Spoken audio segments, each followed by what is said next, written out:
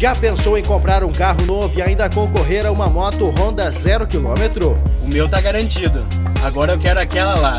Então corra agora na RS Veículos, a sua revenda em Tapes e acelere sua sorte.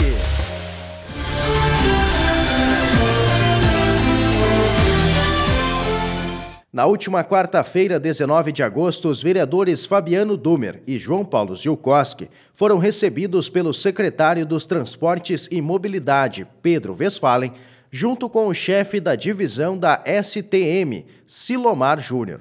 Os vereadores solicitaram, além de outras reivindicações, um caminhão de bombeiros para a cidade. Este caminhão era de uso dos bombeiros do aeroporto de Caxias do Sul, que com a aquisição de um novo veículo ficou em desuso.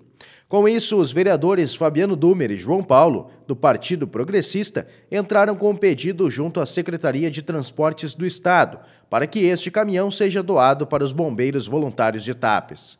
Segundo informações, o caminhão tem poucos quilômetros rodados e está em ótimo estado de conservação, além de já estar adaptado com um canhão de água, que auxiliaria e muito o trabalho de combate a incêndio em Tapes.